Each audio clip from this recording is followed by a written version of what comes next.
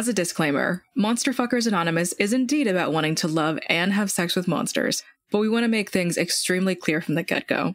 Not all of the chosen monsters will be sapient, but we will not be endorsing zoophilia or bestiality. We will be as transparent and ethical as possible, while also sex positive and mostly having fun. Vampires that stalk in the night, werewolves that howl to the moon, dragons that loom over the skies. These monsters and more have plagued mortals for millennia, clouding our minds with one singular thought. Can we fuck 'em? Fiction or reality? Which one should we be? Don't think that I'm that naive to see the fiction or reality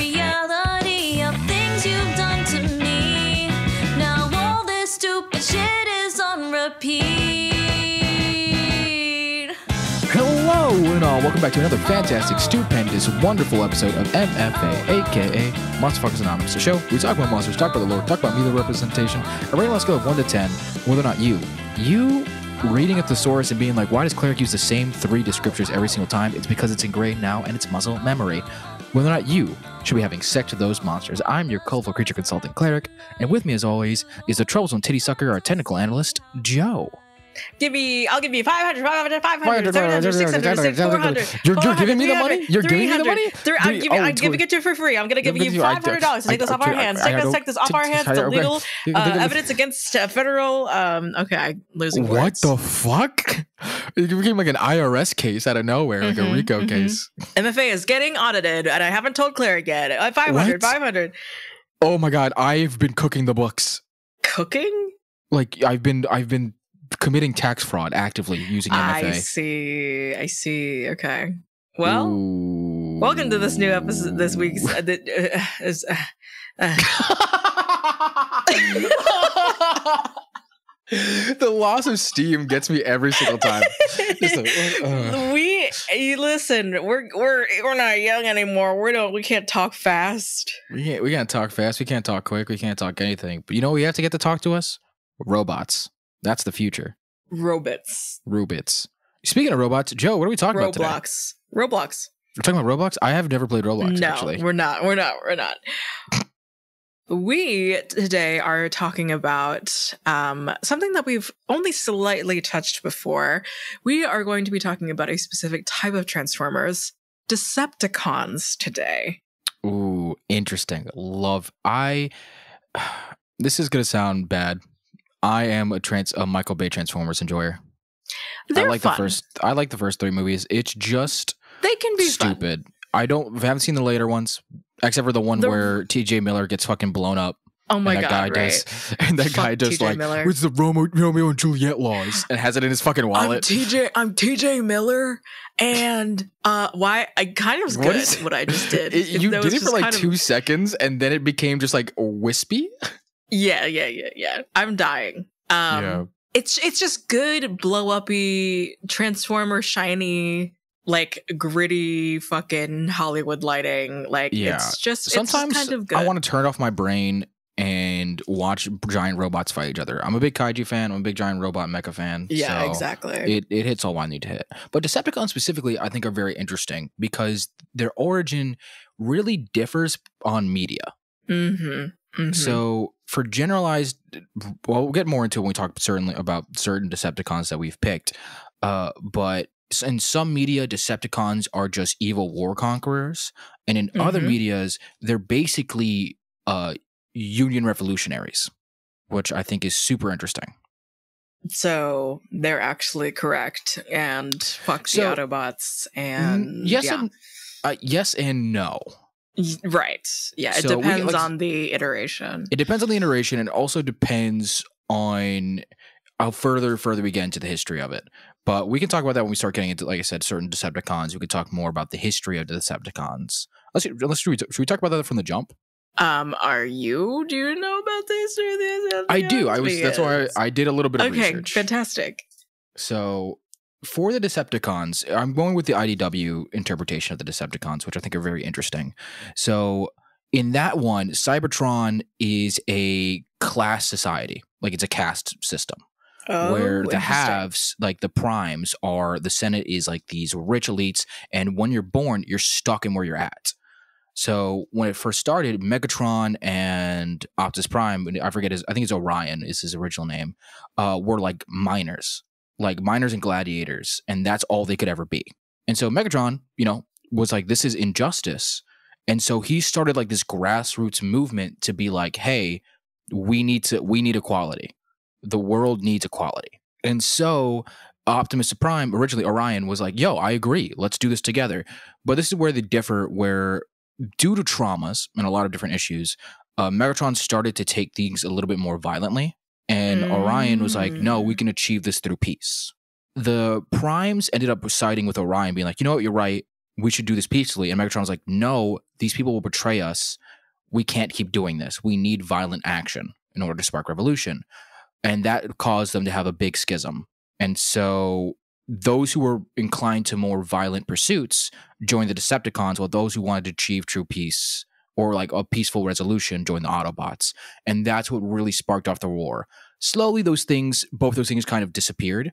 Where since while Megatron and a couple others kept the uh, kept the origin of the Decepticons of like we want equality, a lot of the people, a lot of the Decepticons that joined the cause were just violent oppressors who wanted war and to conquer the universe and slowly the that became the majority of the force and that's where it slowly started corrupting it also started corrupting megatron because megatron was like uh, any means to get the ends and if that's what we need to really achieve true equality throughout the world then that's what i'm gonna have to do. And that's kind of where the big divide happens. Fuck. yep. It's like I we truly uh, we rather I will truly just learn about how deeply political the Transformers are from the get-go. I mean, it- always from the beginning there's always going to be like parallels from like our real world when it comes to like a clear good and bad robots Mhm. kind of dynamic at all times. But it'll be interesting to see like what exactly at all times the Transformer series will be tackling because my pick Mhm. uh, which cleric I will be very happy to take it off of your hands and go, Go for it. first today. yes I know that you're very weary and it's very hard for you to start the episodes usually. I know every Mhm. time you you get very like you start sweating and Okay. like your hands start shaking okay yes you shrivel up and i become a know, little i become a little raisin boy yes you little raisin boy. a little yes, raisin exactly. boy put me in bran Um, uh, Tayo Cruz's death risk. Um, yeah. Mhm. So, uh, should I just go ahead and introduce? Yeah, take it over. Take it. This is your show now. This is you. Your spotlight's on you. I've talked about the Decepticons. I've given you a little bit of background. Sh- share with me who you've picked. Who interests Joe? Who made your little heart and swell up with pride? Little, little, little I'm not going to say what I said. Um, I will be tugging at the heartstrings of our very own cleric underscore 34 here. And also, hmm. obviously, this is just like, it's such a me pick at the same time. I will be talking about Black Arachnia. Ooh, okay. Already interested. Black Arachnia is the techno organic femme fatale of your nightmares. Seductive, ambitious, and inventive, she regularly toys with the tightrope of good and evil, especially when it comes to her forays in loving someone from the opposing team. Pick your poison. Either curating insectoid armies or borrowing powers from other Transformers, this Predacon always comes out on top at some point She a baddie.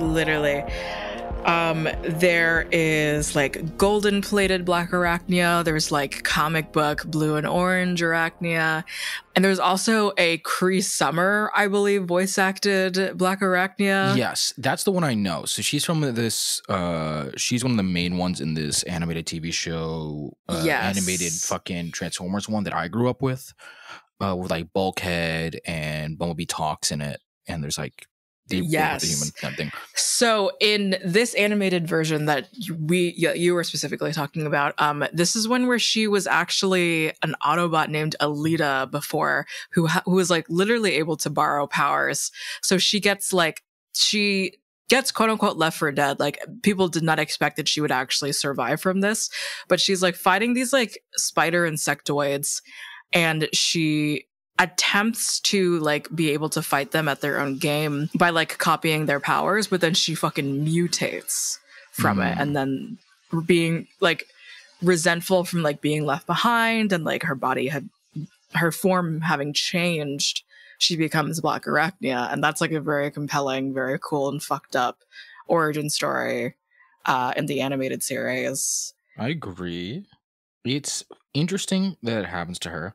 And it's also interesting just like you said, she's more uh cunning, she's more guy she has a lot more guile and compared to a lot of just the energy of the Decepticons, especially in that series where you have Blitzwing, who is just crazy. You have Shockwave, who is like one of the cruelest things you'll uh, Autobots you ever imagine. Just having her there is a good was a, such a great contrast. Yeah like i can't remember i don't i don't i have didn't watched this series obviously but um her like introduction to the series or at the very least like whatever um is her like stealing the powers of one transformer and also bumblebee and there's just like very clear tension between like her and Optimus Prime and like how like I guess Optimus Prime in this iteration the anim- in the animated iteration was kind of like the silver bolt or whatever of um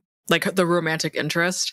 But then like the the good and evil tides of like whatever and like the vengeance and like the resentment that was still carrying over it's just all very fucking tasty when it comes to black arachnia And I love the enemies to lover or like lovers on different sides of things. mm-hmm mm-hmm It's so interesting to me. It's it's just enjoyable, and it's always has that tension. It has that. Uh, it has the. Oh, will they? Won't they? Will it get violent? Will they kiss on the battlefield? Will it just be the time the knife comes out? You know, type energy. Yeah, and I believe in Beast Wars, like the '90s um, animation, which is fucking terrifying. It looks animation disgusting. style, Jesus. right? It's so scary. It is fucking a nightmare. Actually, I may be wrong about this particular soundbite, but there's one where she's like, "Even when I'm good, I'm bad." Like, there's there, with the very much the will they want they thing that you were talking about, like Mhm. Black Arachnia. Like, no matter what, she's like in her core, she's still ambitious. She's still like a fucking scientist that can like refine mutations and transformations, and like has a very she's an expert in the Allspark Mm. also like sh- there's just there's a not not you know not to say that like women are so surprisingly smart like whatever but like there's just such a surprisingly profound like everything that she is interested in comes from places that you really fucking understand like she was Yeah. like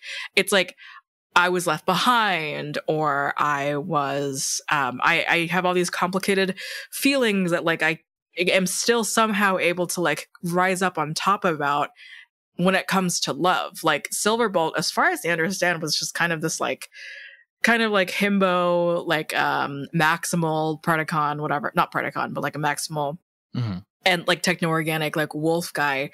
And like she even at some point like joins the maximal sides, but like obviously she is still her. Like she is still like um not devil's advocate, but like she's she's still prickly. She's still black arachnia and like yeah. she doesn't just become less complicated just because she's technically on like another side like she still always creates certain complications certain political like edges or whatever because of just like how she was made where she comes from like wherever or however that might be. Like she knows how to pick her battles and like steer course and is just a fucking like smart character when it comes to her decisions. But then also like love is like a very core part of her at the same time. I think that's super. So the way I see it, if she was like in in our world type of thing, uh, this would be mad scientist assassin Yeah, it's one of those things where you would have to be like a spy. I feel like you would be rival spies or something, mm. and so you're always it's that trope of like you're always encountering that spy, like Mr. and Mrs. Smith type energy. Yeah, very much so. but there's always that romantic tension there. I there's I don't know how to make uh, that for me. I can't picture this in like a you meet them on the sh- like type energy. Like I can't see like the only way I could see it is if it was like rival bo- like rival companies and you're constantly getting outbidded by this person because she's like sneaking in and she's getting the information, but you're trying like you're working hard, but she's always like one step ahead of you. But she also there's this like there's one day where you're upset about that where she's like, I can't believe she got a like ahead of me. What the fuck am I doing? I'm like I'm a failure. And she kind of like looks at you and she kind of says, she's like, you're actually one of the best people. Like you've without if you make like competing with you makes me feel better because I tried harder. right. And there's this like moment of sweetness there, and then it's like, uh, anyways, uh, you suck, suck a dick, bye. Yeah, But like then- I, I feel I am compelled by you, my my enemy. Wait, I called you my enemy. I mean, yeah, you kind of are my enemy. Um, anyway, Yeah, and it's like that, just like a constant romantic building tension of like, I Mhm. w- will they want until eventually it's like, hey, you know what? I competing with you is one of the best things that's ever happened to me. Like, I it's made me a better person. It's made me want to try harder, and I can't imagine my life without you. Would you like be with me? And that's where like everything folds. And even though there's always gonna be that competitive edge on no matter what, it's like, but there's genuine like affection there. what I can the the thing is that I Okay. for some reason can't get out of my head is that the potential one to one of like the Autobots versus the Decepticons is the Autobots is definitely like giving CIA whatever. Like like they're definitely like some like if if there was this one to one where like there's like mercenaries and like black ops and whatever like Mhm. mm, the black ops still work potentially for like a, any given like nation or state Yeah. and black arachnia is this like mercenary group above it all Yeah. um and in no way would black arachnia be like okay i guess i'll work for the cia um but i think in a uh, in a in my, in my own fantasies where it's like a tf2 situation you know Mm, what i mean yeah, it's like that. like there's it, it's just like privatized mercenaries going after each other blah blah blah and there's like just a little kiss in the battlefield where everyone's there's a like, little kiss in the battlefield and then you like every sneak now and away. then Yeah, i'm wearing a red t-shirt you're wearing a blue t-shirt and to i'm a mad on- scientist chemist i have big tits you know I'd fold. i'd fold I mean, she's also a Spider Woman, which immediately just like exactly mm, Jorogumo, yeah. full So to be honest, she has spider features. She's not a Spider Woman. I don't know. Like I think the the carapace takes a lot for me when it comes to Spider Woman. But I'll also say when it comes to other things like that, she's definitely a dom for Mhm. sure. I think. Oh no, actually, she's the dom in the street, like sub in the street seats. I think she could go e- very much either way. Yeah, like it depends on her vibe, but I think she, no matter what, even if she's like maybe submissive in the moment, I think Mhm. there's still like she's like this is what I want to be done yeah, at most of the time. But I think with like Silverbolt, Himbo, I think she would power bottom, but I think with Optimus Prime at all times, it was never she was never subbing for him, even if she was Yeah. bottoming. she's the. Where's that fucking TikTok audio where it's like he's so dumb and so stupid, and I'm gonna top him. Yes. Yeah. Uh, I think that's from Q Force. Jesus Christ. Don't quote Q Force. Uh, I will, but yeah, no, it's that energy of just like he is so dumb and so stupid, and I'm gonna top him, and that's I think that's her, which I think valid. I think that's her I think that's her vibe. I think Yeah. she's just like this nonsense. big this big fucking hero kind of thing. I can't wait to fucking corrupt him and then like fall in love with him and get married and then go completely domestic and then maybe forget my entire life. Anyway, um It's like, yeah, I can't wait to stab you, make you betray all your friends, and then move in together, and then kind of like and then have a baby kiss. maybe. yeah, and have a baby. What? And then get a house. What? Nothing. Shut up. And then she stabs you. And then isn't that so romantic? Honestly, I'd fold. I'd fold so fast. I'd fold. I'm we're folding. We're, folding. Laundry is I'm done. folding. I'm folding. I'm folding. I'm folding. Laundry's getting done. Bleach is bleach is put out. Baking ironing, you cake. ironing, ironing. Baking you cookies. Breakfast in bed every day. Every day. Wife. I swept up clean. House husband, house husband. Yeah. All right. Well, I think we have a solid grasp on who she is a little bit, plus her origin, a lot of stuff. Why don't we just dive into the scale? Absolutely. So, you know, Cleric, um, we, we, we, we, I think we pride ourselves in attempting to not jump the gun with our scores. For sure. Um, for sure. For sure. that being said, the first score set is Mhm. sex appeal. 10. 10. I said first. I said first. I don't think so. But whatever. Um yeah, I like listen, I don't know anything about Transformers. I don't really know I don't know I didn't know anything about Black Arachnia. I knew about Arcee, but we decided that we were doing Decepticons. Yeah. And Arcee and or Black Arachnia, depending on the iteration, also have like a vibe thing going on where there's like Transformer scissoring that could potentially happen. Um Yeah. There's a lot so of that- gay fucking Transformers. there's a lot of gay fucking in Transformers. There's a lot of metaphors here. and a lot of them are, no, there's also a lot of overt ones. I'm going to be clear. There are actual gay yes. Transformers. yes, very much. Uh, and then there are racist Transformers in Transformers 2, by by Shout voice acted by Tom Kenny. Shout out. voice acted by SpongeBob. If you think about it, um, Jesus Christ. so I I put a I I, I watched a couple lore videos about Black Arachnia, and I may potentially be convinced to watch a Transformers series because of her. I would love She to. is sexy as fuck. Cree Summer, bitch. Dog, she got an Listen. hourglass figure. She got the spider thing. She got her voice is just seductive. She lays eggs and kills her husband and eats his head. Like, oh yeah, God. absolutely. You don't have to convince me anymore. You don't have to fucking say anything. Yeah. Um, But- it's a 10. For sure a 10. I think it's for sure a 10 Simple for me as as day. It's Simple. It hits all of all of my boxes. And she's hitting my body. Blah, blah, blah. Yeah, but it Um, hit her box. You know what I'm saying? Personality is next. so here's the thing.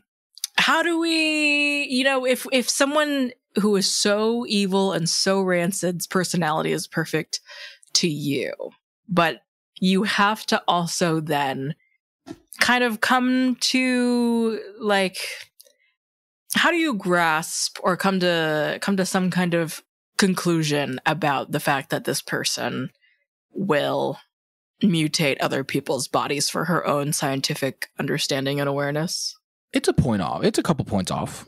Let's be honest. Not a. It's not a deal breaker. Gotta be, gotta Not- be honest. not- Not, a deal breaker, not a but deal gotta be breaker, but- honest. uh, I would say my argument, my counterpoint to that is, isn't that what scientists do? Isn't that what doctors Isn't do? that what all sci- doctors and scientists do? They They, just technically experiment mutate- on they their mutate friends. our body? They mutate our bodies Yeah. and Yeah. change them in the ways that are. I didn't need glasses until I went to a fucking eye doctor. That's not true. No, I hated them. yeah, no, like- Um, but uh, I think when it comes to her personality, she's rancid. She's rancid, Not rancid, but, like, she's it's not great she's evil. for sure. She is objectively evil. She's lawful evil. She has chosen to side. Well, actually, hold on. It depends on the iteration. I It if- depends. I do we want to stick with the animated one or do we want to stick or the I don't the know, Summers one or do you want to stick with the go? I don't because know. Like, technically- there's so many. We have to find an average. I think. Okay, so if we go by the average, she was in the original series I was reading, she was controlled. Like she when their their fucking spaceship crash landed Mm. on Earth, somebody Yeah. came in and kind of rewrote their fucking programming to be She gets Predacons. manipulated a lot, right? Yeah. Yeah. So she, originally she's not that evil. There she's like just being manipulated and her love for uh Silver Fox or whatever the fuck his name is. silver Silverbolt. Silverbolt changed like was able to help her come out of that co- controlling personality and become side with them. And even in the up in the Autobot series, she was the fucking Autobot, but she was what she feels like betrayed, which fair. Elita. genuinely. Yeah. And Mhm. so from that betrayal turned into somebody who was a little bit more manipulative, a little bit more uh cruel, a little bit more vile, but there's still that sense of like I want like of love and appreciation there. So I think you're dealing with somebody hurt people hurt people, you know? hurt people, hurt people, So I will say and sexy people who are also hurt get a little bit of a pass. Yeah, they get a pass from us. They get a pass. They Uh, get a little pass. But so she's hot and Uh, So she's sexy as fuck. said she's sexy as fuck, and and- honestly, so I'm going to give this an eight.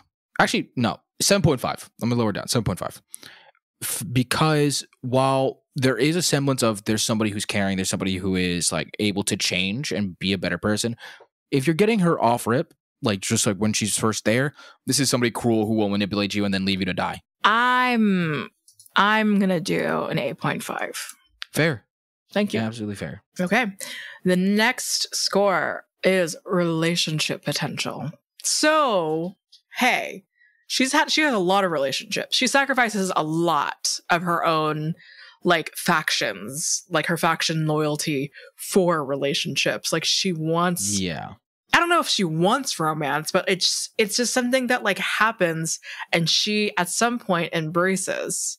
She's like, I'm not gonna kid myself. I'm in love with you. So I'd Yeah. love to do something about that. I would say she's also like in the original series when she does defect and she goes with Silverbolt and they live with their happy life out of that. Yeah, yeah, yeah. So I would say relationship potential for this one is extremely high. I would give this a nine.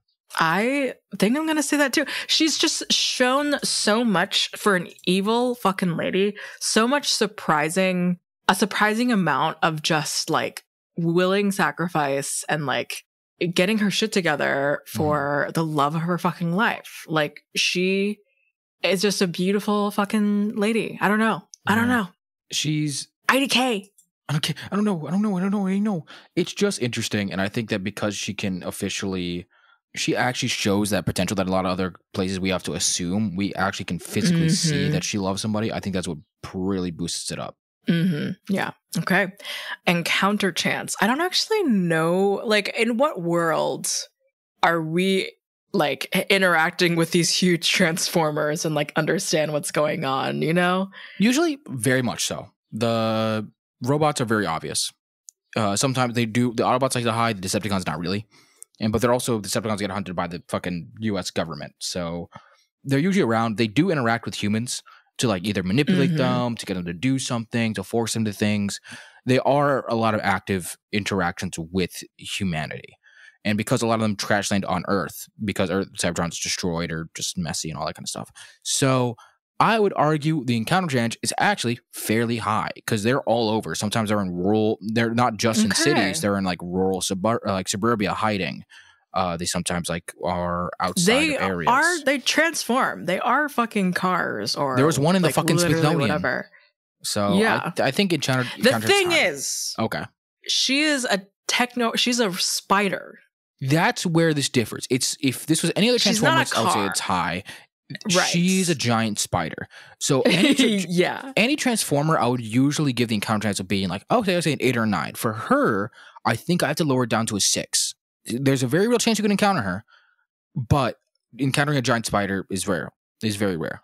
I actually give this a six point five because she does actively go out and talk to people. She's not just like hiding away. She doesn't like choose to hide.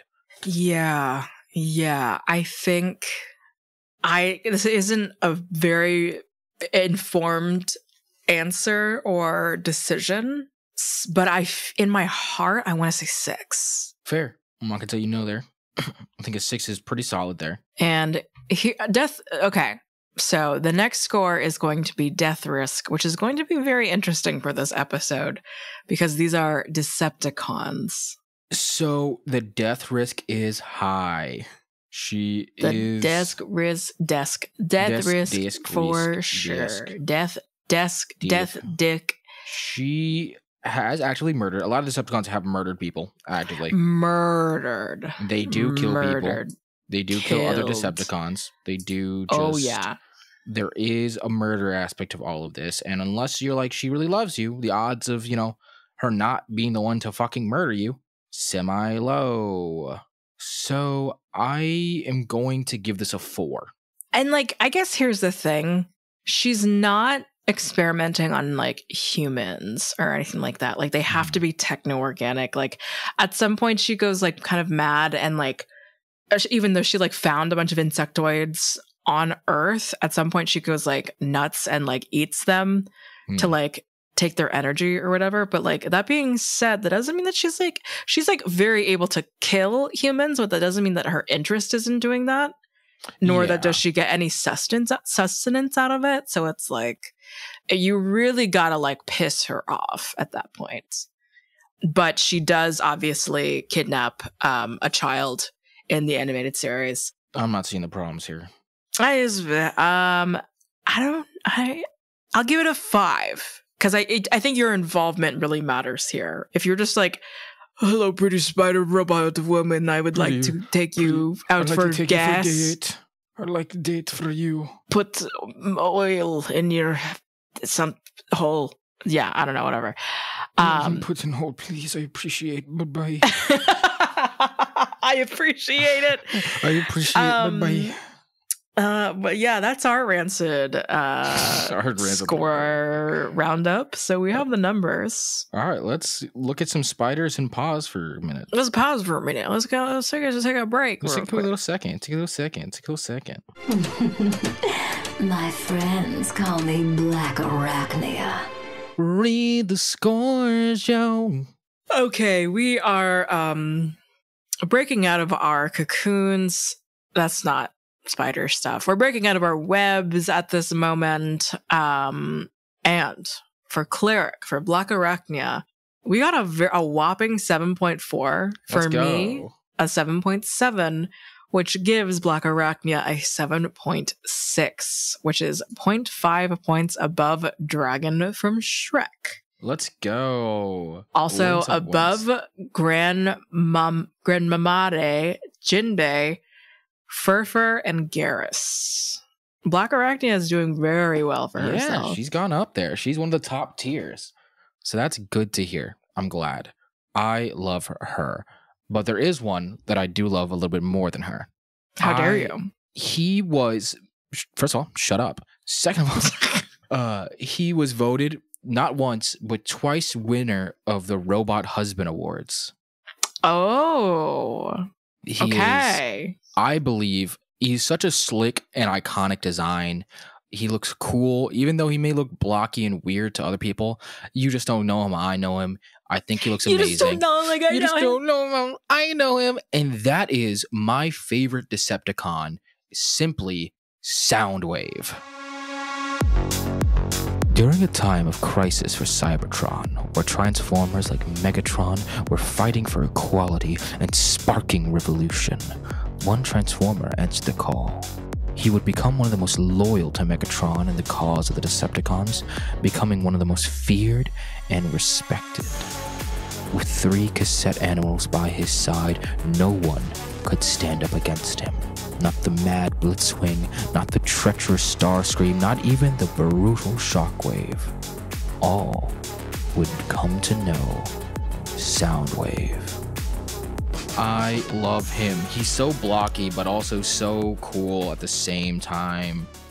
Let me pick, let me pull up some photos. Yeah, Let's I'm see what pulling it up. fucking Here's looks like. here's him with his little. Here's him doing a little dance. Look at this little guy. What the Look fuck? This guy. He's also a brutal murderer. Oh, okay. Uh, I see that he was in the Michael Bay movies. as he well. was. He was in the third one. He was in the second one for a brief cameo, but he was in the third one, not looking like this, which made him suck. But he is just cool.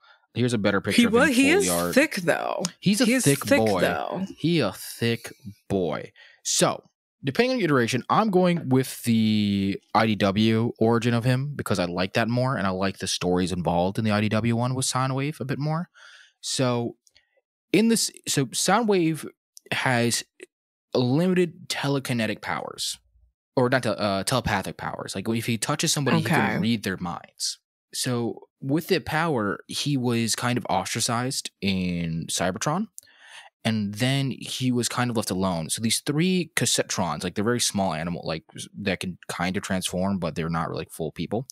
Uh, found Soundwave and they're like, "Hey, we can help you control your powers." Blah blah blah. We want you to help with you, and he bonded with them so much that he like was like, "Hey, I know you guys are roaming around and you have no place to live. Live in me. Be- I will become like your body." Oh my god. And so now he lives like all those three are like his best friends, and they live inside of him. Like they live, they are part of him. So he was he was also a gladiator, and so he meets Megatron, and Megatron's like, "Hey, I'm fighting for a cause for equality." He's like, "No, you're not, pussy." He's like, "Well, you can read my mind, can't you? See, see how serious I am about this shit." And so he does, and he sees how uh, he truly wants equality. And from then on, Soundwave is Megatron's most loyal person. but not because he's loyal to Megatron. It's that he's loyal to what the Decepticons are supposed to be. So depending on the iteration, there's like they're super loyal to either Megatron and follow him without cause, like without any purpose. But from for Soundwave, he's always been the my greatest goal. The thing that I'll go for is equality, and I think that Megatron is the best way to get that. So that is his big thing, and so that's why when other Decepticons are like, "Hey, we're going to sacrifice some of our other Decept," like Starscream is like, "I'm going to sacrifice a bunch of Decepticons so we can get our goal." He's like, "Why the fuck would you do that? We're fighting for equality. That's weird." And then he like Starscream convinces him. He's like, "I don't like that, but okay, I guess you're right. If this is the best way for us to get like equality, blah blah blah." And so he fights. He does like he's their communication officer, so he like spies on everybody. He gets the information. He's a very brutal fighter. He's one of the toughest ones. Oh my Uh, god. So he's very. Oh my god. Oh my god! Are you are you looking at Soundwave pictures? No, I- just like the way that I said that was just so like, okay, Oh I need to chill out. So Soundwave is kind of just that. So that's basically who he is. He is the most loyal to the cause. And so the Little that bitch boy, Hey, little bitch. first of all, watch your tone. Watch your Okay. fucking. And he's not he's not a bitch boy. He's tough. He's out there. He's one of the most cunning, but also he is, like I said, he's loyal to the cause. And what that turns into is in the IDW comics, Megatron defects to the Autobots. He realizes the error of his ways. He's like, I should Mm. be less violent. Like I should be like I'm going to join the Autobots. And this hurts uh Soundwave because he's like, I thought the cause was vi- like revolution through violent uprising. Or like like we're the only way for the ro- for us to equality is through violence. But I also believe in equality. So why the fuck would you betray the Decepticons? Because that's what we were supposed to be about. And so he like kind of follows another person who's a little bit more uh, Galvatron, who's a little bit more violent. But even then, so he's he ends up creating a place called Sanctuary, where Mm. not only for Decepticons to hang out and be like peaceful, and as well he starts accepting other Autobots. He's like, listen, I want peace. You just got to follow Decepticon rule. But Autobots can stay here, like for Sanctuary and for things like that. And he he gets to a point where the Decepticons are so violent and so antithetical. Uh, uh, I don't know what it's called, antithetical, whatever Antithetical, yeah. antithetical to what it was supposed to be that he kind of defects to the Autobots, but he never takes off his Decepticon signal or like his little emblem. So he, in turn, honestly, is the last true Decepticon. And so Mm. he ends up becoming more and more involved with the Autobots and peace and all that kind of shit. He like ends up like walking with elephants. He falls in love with, with like elephants. He's like elephants are the greatest creature to ever exist, and like kills poach. sweet. Like he's like walks takes walks with them. So in the comics, his final act is when there's like this giant. uh It's Omnicron, the greatest threat to all of life, shows up.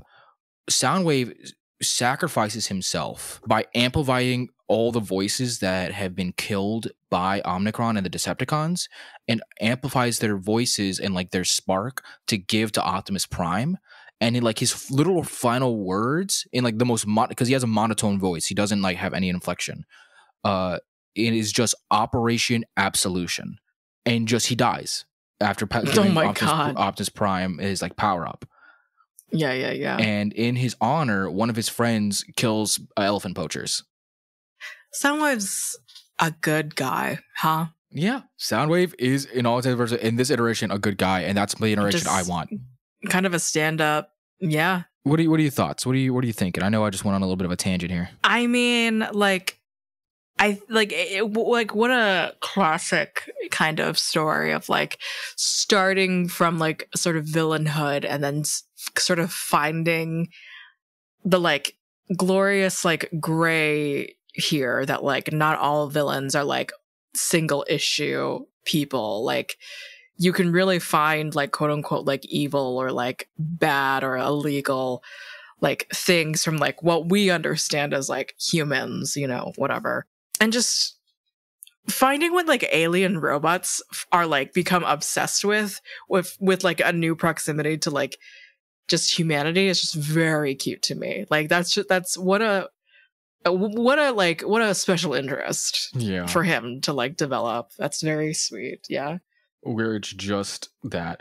I like his other forms as well because in one he has a keytar, Oh my goodness. and in another he has. How like, did you learn about that? That's I, uh, so- Soundwave loves Elton John, I guess. Mm, Well, in that version, that's that. So the one with the Keytar is actually the version with uh Arachni or Black Arachno. Uh, in that version, Blackarachnia. yeah. So he in that version, he's not a transformer. He was um a robot that a scientist built that Megatron influenced and gave the Allspark, and then he was like, "Humanity sucks. Oh. Robots should never serve Like a like a Five Nights at Freddy's like animatronic. Uh, basically, yeah. And That's so, so then he was just like, "Oh, robots should control blah blah blah." This guy is a revolutionary, and to be very honest, he is better than the. I don't see a downside because you'd be like, "He's violent." Okay, revolutions are violent. Fuck you want from me? He's a union guy. He is down to earth. Sure, he may kill a couple people, but that he may kill some of like other transformers and robots. But dog, The right. who? Like What am I gonna be? Union? I'm gonna go with the union buster. I'm going with the guy who's a part of the union. You know? the guy that looks like a Five Nights at Freddy's animatronic. Yes, and he Who's has pets. He's an And he has like- pets. So he loves he, it. So, he so- loves animal rights. Yeah, in in the positive category, loves animals, pro union, uh, has great taste in music. I'm not really seeing any downsides. Besides maybe a monotone voice, he can sometimes knows exactly what you're thinking, and he can use that against you. Uh, hears everything, so you can't have any secrets. That's very tough. That's tough. So you know, so You he- know. the, the pros and cons to everything. Uh, he, he also, I would say, if he was like, the Soundwave gives off the energy of like, I try to be like, first of all, definitely into sounding. Ha, no, uh, Oh my god. but he gives off the energy of a guy who wants to be on top, but at like gives up halfway through, and it's kind of just like, you know, how about you take over? That or no, he's the guy who listens to you every like listens to your every word. He's the guy who like you like rub my feet. He's like, yes, ma'am. Yes, sir. Yes, ma'am. So I think he's he's a I think he's an all purpose like service sub. I think yeah, that that that vibe very much I adore. Any Mhm. like anyway, love that trope. Like love Yeah. this sort of thing of like this this person, this guy constantly just like has things that he believes in, including puss. Yeah, I think he'd, but he's also the type to be like, hey, I like, I want you to be good, so I set you up like a payment plan for your credit card. And you're like, I didn't want Oh that. but it's like you, I put everything together for you. yeah, you just have to do um, it. Like, and i like listen i in in this relationship dynamic there are you never i never have to just assume anything because i know what you're thinking at all times and mhm. i know i'm trying to like we're there's that that is something that we have to kind of like work with each other about because i know it's not entirely comfortable to, for me to be like entirely in your head but it's not something Yeah. that i can help yeah, so if there's anything that I can just kind of, even if it is burdensome to share, I can take things on for you because I am also a robot with like the entire wealth of like the internet and understanding of most electronic beings. And God, he's great. You're not saying any downsides. There's no downsides I- to Soundwave. No downsides. Uh, I mean, uh, the partner that can that knows everything that you're thinking is definitely a downside for me, but I just have issues. You know what I mean? no, I guess it would be annoying. I want to have conversation. I want you just to You assume know, everything and you then just be like, oh, okay, cool. But as somebody who has trouble, who's has trouble communicating sometimes how I'm really feeling, I think it's helpful to hear to have somebody who's just like, hey, I can sense how you are. I can sense you're upset. I can sense you're feeling this kind of way. yeah. So, I mean, I think that's a solid segue Mm. into beginning to score him. Yeah, let's do it. Sex appeal, ten. Nine. So for me, it's a 10 because I love masks. Everyone, I love giant armor. There's two things. There's a couple things I love. I love giant Masks armor. I and love armor masks. are fantastic. I love all that type of shit, and I like just big beef, like strong. So he's checking off all the boxes for me. Plus, he's got a cassette player. You know, always music. Always has a sex playlist ready to go. So I Oh think it's a 10 out of 10. Where it could actually, I'm going to lower it to a nine. Actually, I will lower it to a nine. Wait, what the fuck? No, here's the reason. Here's the reason. No, there's a very legitimate reason. Okay. His pets live inside him. Oh, that's right. He has So- like buddies. Yeah. So at any moment, you have to be like, "Yo, can you kick your pets out?" He's like, "No, they kind of live here." It's like, "Where?" It's like, "I can send." He's like, "I can send them out, but that's kind of re- It's kind of rude." I'm just like, "Fuck." I mean, how about kick your roommates out? You know. So that's where I say Oof. bad bad vibes there. So that's why I'll, I'll lower it to a nine. Okay. Personality. I mean, like it's a golden standard here. Like it's. It's golden. It's for me. This is the perfect one. This is amazing. I think this is a nine. This is a nine for me as well. I'll double it up there. Nine is phenomenal. He's a like I said, union man, union man who supports it. Fuck out of here. Uh, Get out of here. relationship potential. I'm going to have to put this lower Really? Okay. Yeah. For because sure. he, he doesn't really enter any relationships. As long uh, from my knowledge, he he has more causes, more room, emotional, mental room for causes than relationships. I think. Yeah, he's also very much um he likes his uh robot like he's like he has good friendships. He has people he supports like Rumble and all of those guys, like his Mhm. uh his actual thing. So he does make friendships, he does stuff like that. The and he has that loyalty. I just he hasn't from my knowledge been like let's kiss. Mwah. Let's kiss. Let's kiss. Or like, let's stop and smell the roses. Like, let's get vulnerable. Yeah. Like, I think he's very much the like enjoys the company, but like doesn't realize that maybe a label might be warranted at some point situation. Mm, got it. Feels like uh, it's still strong. It feels maybe like a 7.5. I I'm gonna give this a six. Wow. because I, I don't. I mean, he does talk. He did have a friendship with a human once, like a real close friendship over the GI Joe named. Mainframe. So I, you know, I'll I'll let go with seven. Fuck it, I'll let go with seven. Okay. Encounter chance. So you're gonna have to tell me about this. Yes, and I would say middling because he he's the one who infiltrates humans the most. Like he goes in and like takes So over huge. compounds. He takes like he listens to people. He can become a giant. He can become a stereo. So people Okay. can take him anywhere. Like he goes in cars with stereos and everything. Okay. uh he is like you can find him he actually does all that stuff so i I, think don't know if this is middling then. I think it's like this sounds like that sounds like an eight at least. you know what you're right eight Believe in yourself, cleric. You can do it. i'm trying. You have a good robot. i'm trying Okay. Get your shit together. i'm sorry uh Death risk. high high What? Okay. Hi. Okay. well no i mean in the sense of he will kill you he will for sure murder you he's done. But if he believes in you?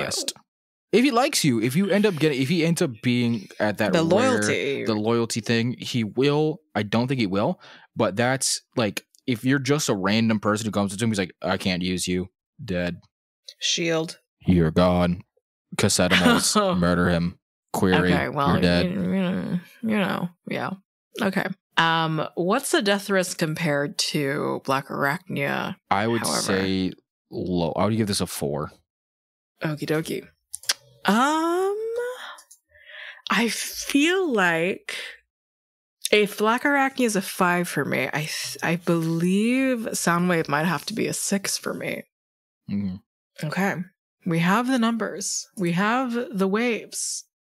Okay we have the wave why don't we blast our music and think out what we're trying to find Soundwave acknowledges. Soundwave.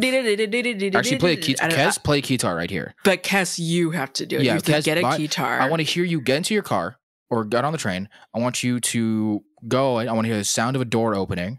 I want to hear you. I want to hear some. I want you to hear the ka-ching sound of a register. I want you to pick up a guitar. I want to hear the train coming back, and then I want to hear the guitar sound. I want to hear phone audio of you uh, recording someone non-consensually while saying, "Yeah, can I get this guitar?" Okay.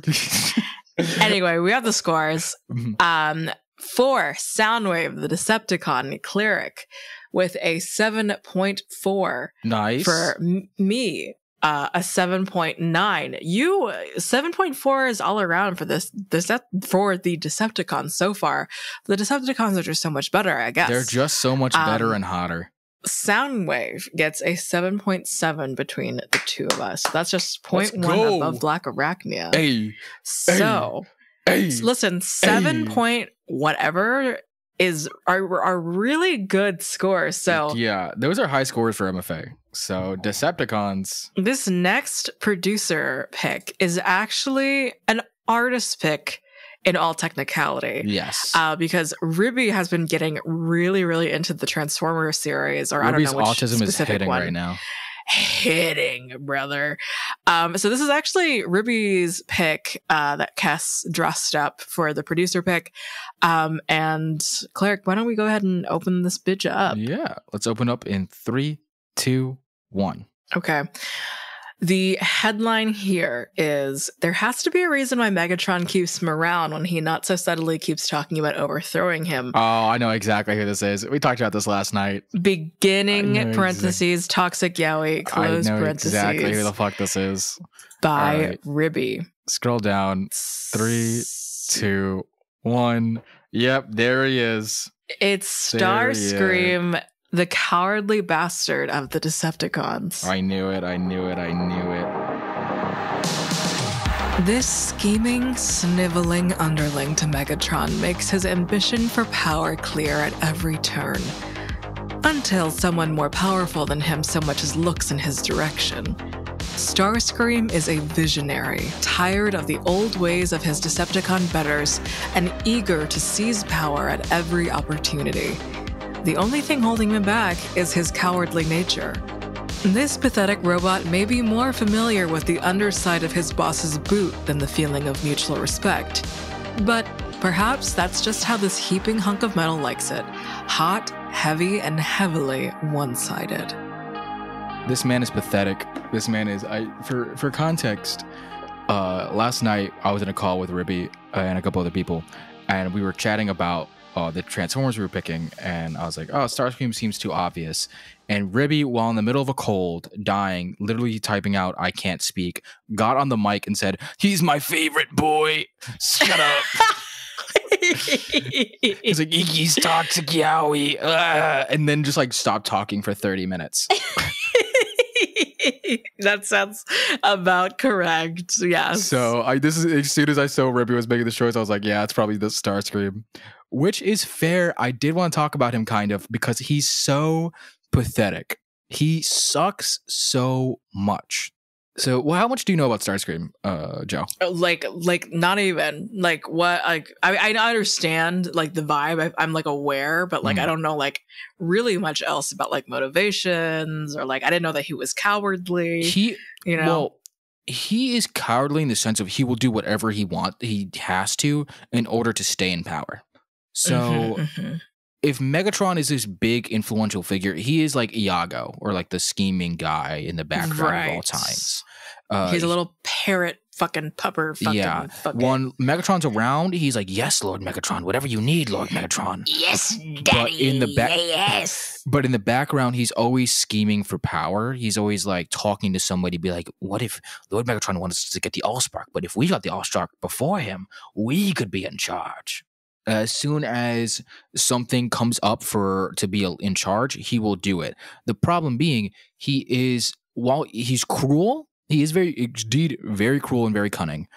Uh, he will murder his other like uh I said before in the Soundwave bit he was willing to sacrifice a bunch of Decepticons in order to get what he wants. oh my god He was also I mean okay yeah that makes sense uh he was also in another comic he brutally murders humans without a second thought. Like he is like stomping on humans, murdering them, no problem.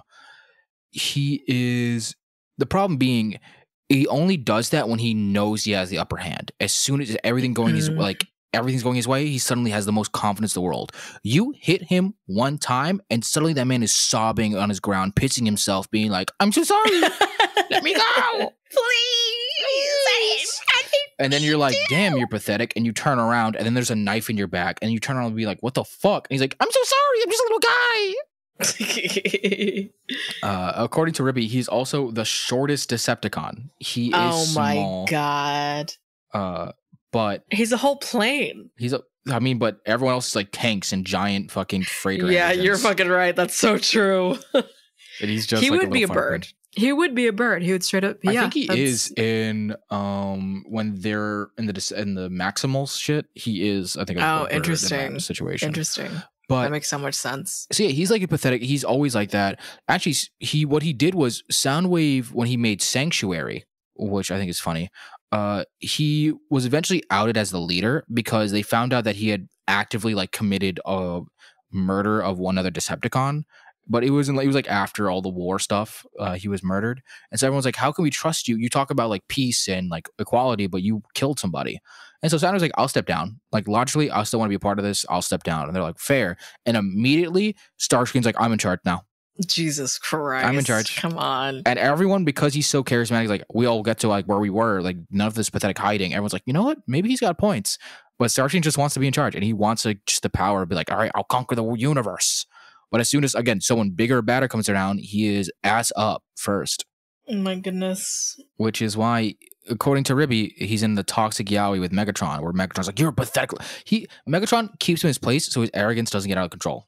Uh, we are also going to be getting some live pictures of Starscream, apparently, that Ruby has personally saved.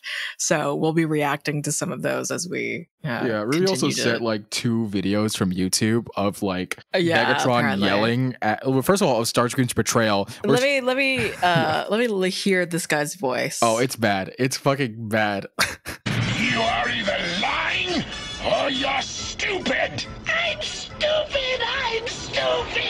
oh my god, Ruby. I'm stupid. I'm stupid. Uh, and the first one is Megatron just getting shot like. Just like a flesh wound, and immediately starts to be like, Megatron is dead. I'm your leader now, and flying up. So, like, literally, the first opportunity, Starscream will uh, betray everybody. So he's basically, if you're trying to think about him as something, he's like, again, there's this big boss of like, let's say a crime boss or whatever that lives in your neighborhood, and Uh-huh. he's like, roll like everyone is scared of him, but also knows like if like he'll protect you at a certain like at a certain point, but don't ever double cross him. But there's this guy he keeps around with him. Like if you notice on his right, like his left hand, not his right hand, his left hand. Uh, oh. uh, there's like this fucking super thin, super strong, like hunchback kind of dude who's always with him, who's like that, yeah, boss, yeah. And then as soon as he turns around, he's just like selling, like doing, undermining the business at every single turn. And you don't Mhm, understand why the boss keeps around, but then one day you kind of like walk into them and you see them like fucking, where the boss is Yeah, straight fingering. up pounding this man's asshole. Absolutely. And it's because this guy's not only short, has the most disgusting voice you've ever fucking heard, but the tightest pussy. He's got the tightest pussy. He keeps that shit on lock, and that's why he's and that's why he stays around. It's not because he's smart or cunning or a good leader. It's that his pussy be tight, so I can deal with a- being betrayed. And who hasn't he had that? crosses his fucking legs. That's a gay man. How does how does he even know how to to cross his legs? What do you mean? How mean? does he know how to smirk like this? That's Starscream. He, there's a reason he's I a know. charismatic. He's he's charismatic. He gets people on his side. So he crosses his stupid little gay little fucking legs and knees. Yes. He's oh, okay. I, I won't call him pathetic. Let me rework the image for you because I think I've I've tainted him a little bit. This is next to the boss is uh, uh, while the boss is like built, muscular, intimidating. There's this guy who's like super skinny but super like super short, super skinny, but is incredibly beautiful. Okay. Okay. But okay. he always he's like the type that goes to a bar and he's like, I actually I'm the right hand man for the Dece- Decepticon guild or the Decepticon boss or mafia, and I like if I can get you into there, don't you know who I am? Like I I can t- smooth talk into anywhere, and then as soon as the boss or somebody tougher comes up next to him, he's like, What the fuck are you doing? He's like, No, nothing. My bad. Sorry, sorry, sorry. My bad. Sorry. Oh Yeah, my yeah, no, my bad, my bad Sorry. Yeah, yeah, but then yeah, he um, also is undermining the boss at return. So there's a bunch of people who still follow him actively. Like he is, for all except purposes, one of the boss's lieutenants. So even though he's betrayed him multiple times, he's like, I can't get rid of him because so many people love him, and he is useful. It's because he's so fucking beautiful. He's so beautiful. He's so charismatic. He's such a smooth talker that he can help in negotiations. So I have to keep him around. But I know this man will betray me at the fucking first opportunity. He'll sell me Mm, out, That's fucking. That's so delicious. That's fucking tasty as shit. and then they're fucking each other the entire time. Yeah. Yeah. Yeah. Yeah. God, I get it, Ribby. Sad, but I get it. Is that what we get? Do you want to get into the scale? yeah. have I, have I painted enough of a picture for you for this guy? Absolutely. Okay. Sex appeal. now that you see him in this form and you kind of hear his voice, his voice is always that like scraggly voice. It's never one that mm. it's not like smooth. It's usually like a like Megatron. I'm love you." stupid. I'm Stupid. Like Columbo. Yeah, like Megatron, Mega Lord Megatron. I'm sorry, Lord Megatron, Megatron, like that kind of thing. If if Starscream just shut the fuck up, and this it would be such a higher score. But the sex appeal is not. This is a s maybe like a s- this is like a seven point five for me. I'll I'm gonna go with a seven, just a straight seven. I think in these the comics make him look hotter than he is. The comics make him look hot as fuck, but you can't hear his voice in comics. Yeah, he doesn't. I don't think he's ever had like a smooth voice. It's always been like that nasally, gravelly voice. Even in like the fucking movies, he has that gravel. I hate how he looks in the movies. in in the in, the- in the most cursed way. I think he would have the gayest, close to valleyest, maybe kind of voice in like a like a modern like like uh, the most like I if Okay, if it were to be an abridged like maybe like transformer or whatever of like the comic i could see the worst gay man voice the thing is, happening. you've now collected something. This is a mean gay, the worst mean gay The you've ever met. Yes Where it's like, yes oh, kind of thing. This is a oh, this is a mean gay. This is a what mean if white the gay. deep was a mean gay and megatron was homelander you know what i mean like Yeah. that's That no, that's exactly is- it. That's exactly it. this is exactly if the deep Holy was shit. actually hot and a mean gay yeah yeah, that's that's the dynamic. this is what this is For context, we've been getting into the boys recently. We've been. I've been watching a lot. I'm or I'm caught up. I've Yeah. watched Gen V. Yeah, it's Yeah, we were it's getting into the boys. A problem. Uh, but yeah, no, it's the deep. This is yeah, basically the deep. If he was uh, mean gay with Homelander, Personality. this man sucks. This guy fucking sucks. This guy This fucking is like sucks. it, it's it's like not even that he's like like cunningly evil and like whatever. He's annoying, He just is like an, he's weird. He's annoying. He's just which is an awful quality. I I don't like him. I don't. I I, don't like him. there's not much I can do to like him. So I'm gonna give this a two, like a two. I think I like I like how he's cunning, but I don't like anything else about him. Yeah, you, you that's the same score you gave for the Predator's personality, so I feel like a, about that makes a lot of sense. I think 2 is where I will land as well. Okay, so then Relationship potential. don't even fucking I think he could maintain no. He can't even maintain this current one. He's constantly trying to like undermine yeah. Megatron. Uh, But to be, I guess to be fair, Megatron for some reason keeps him around. Like he hasn't. I think he's definitely punished Starscream a lot, right? hmm He But, is- like, I think that's just also Megatron's own like power dynamic thing kind of going on at the same time. Like I can always make an example of Starscream in front of like the new guys. Yeah. I I think again, like I said, he is the type to this is a toxic yaoi ship that only works for them. yeah, absolutely. So I I relationship potential uh, there's there's none. Um I, there's none that I can even imagine. there's not. there's there's yeah. fucking none I can imagine. I I actively I'll give this a 0.5. Okay, I'm giving. I'm gonna give this a one. But yeah, I'm hearing that encounter chance. He's a plane. well, he's also one of the most active in the whole. He's like Megatron sends him out for fucking anything and everything. So, Give me a Snapple. Yeah, basically, he's he is Megatron's Get fucking me some Subway boy. and a Snapple. Just, yes, Lord Megatron, right away. What what flavor of what flavor would you like, Lord Megatron? Sweet sweet onion. I don't know what Megatron would like. What's the most evil Subway flavor? Evil Subway flavor. What do you mean? The vegetarian sub, I think. The like weird block I would like tofu. I would say getting a pizza at Subway is the worst thing you can do. Honestly, yeah, there we go. There we go. Also, eating at Subway. Well, I, I can't say that. I, I order from Subway sometimes. I love Subway. I do. It's one of those things where sometimes I just want like It's a sandwich. The saltiest bread, and really like everything is. is. so salty. And sometimes, if you're high, that's what you fucking need. yeah. I like. I need to get more garlic aioli because they put that shit. The way Mm. they make their garlic aioli, I don't know what it is. It just hits for They me. shove it up my ass. yeah, it's fucking delicious, and it's just like I sometimes I want a fucking foot long that I can't get at. and just shove it up my ass. What are we doing? What are we doing? I don't know. What are we I want some Subway. Um, Uh, encounter chance. I I mean, if you're saying he's basically like a little evil gay scout situation. yeah, he is. Um. I'll, I'll rank I this high. I would, guess- I would give this an eight or a nine.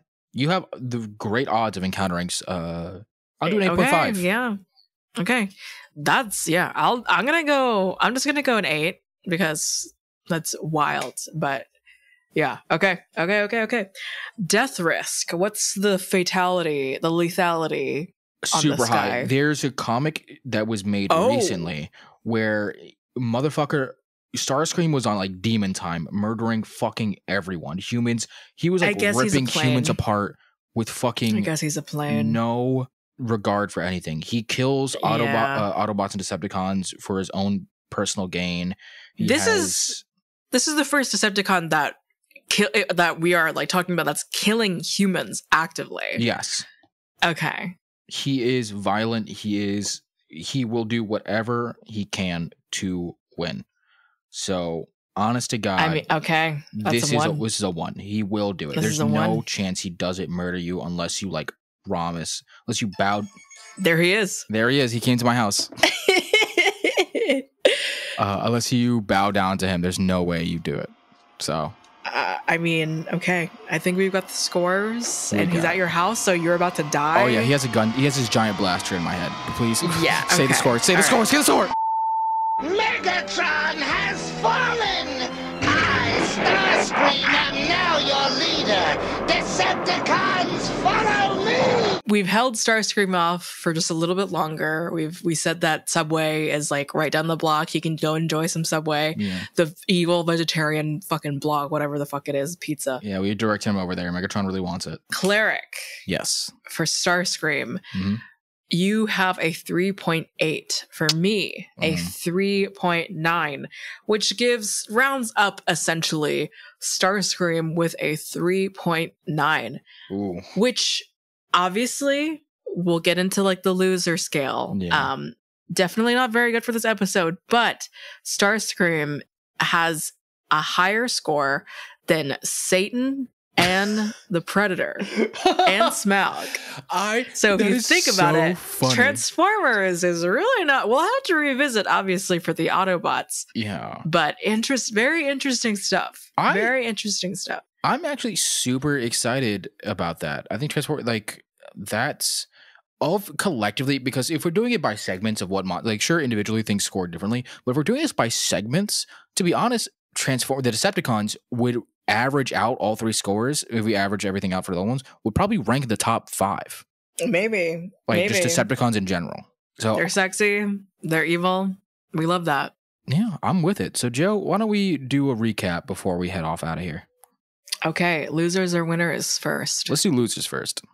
Losers first. With a 3.9 Starscream, the r- left hand scout, Toxic little yaoi. bitch boy, Toxic the most, the toxicest of yaoi.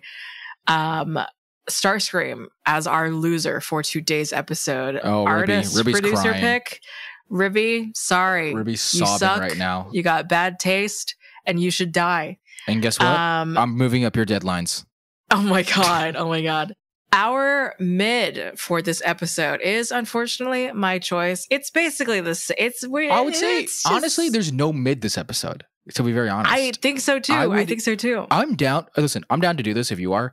I'm down to raise Black Riding Sword to be the same as Soundwave and just do a two way and just put them on the same level. There is no I think. loser. I mean, the, the scores are different, but I, it's basically a two way. yeah. Blackarachnia with a seven point six and Soundwave with a seven point seven today as Yeah. our winners. there were winners because there's no. This is the. I think this is honestly the first time we've had two choices that are genuinely very good and very equal. She just mamma mia. And maybe Clark is only saying that because Blackarachnia is indeed a Spider Woman. That may be true. And in any and in any other case, no slack will be given to me for of sure. any sort. Uh, I am a hypocrite. Hypocrisy is very real and running through my bloods. So Mhm. this is the exception, not the rule. Uh, but you know, they're both very interesting characters. Both very people who have moral grays and are actually very complex. Compelling and interest. Yeah, Yeah. complex. who have love, who have appreciation, who are not built, are not driven by uh just blind murder, but driven by desire and goals. So I think and causes, and I think that's super interesting. And so I'm excited for. You know what, Joe? Do you want to talk? How about next episode? Do you want to talk about Autobots? Let's talk Autobots. Why not? Let's do it. Why not? So We have the inspiration. yeah, I'm on. The, we're on the train. Let's might as well just ran, round it out. So with that, that's going to conclude our episode. Next time, we'll be talking, giving the Autobots a fair shake, seeing how they're going to go. Uh, Joe, do you have any closing thoughts?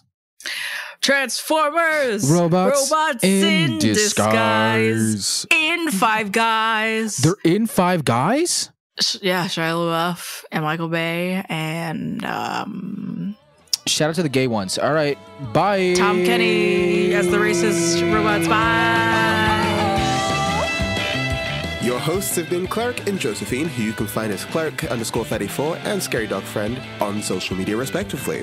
This has been edited by me, Kestrel, who you can find as Hollow Compass. Our marketing strategist is Gwen, who you can find as Glitchy Pixie, and our character designs are by Ribby, who you can find as Art by Ribby. Our intro and outro song is Fiction slash Reality by the band Hypno Sister. Thank you to Soren for permission to use the song.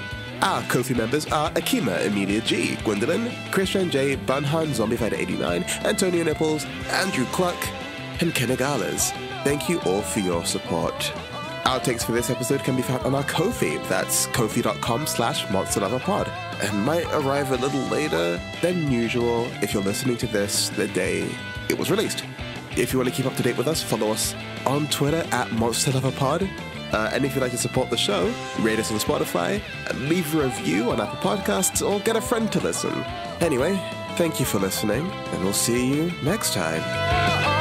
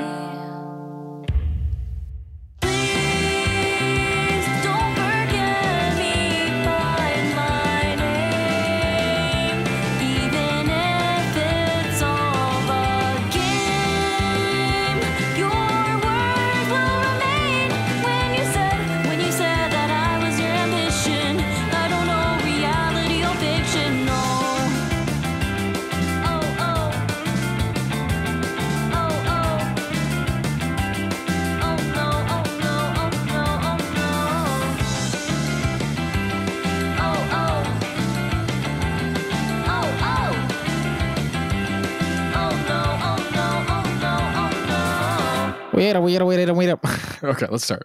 I thought that was a. St- No. I'm gonna start the episode like that.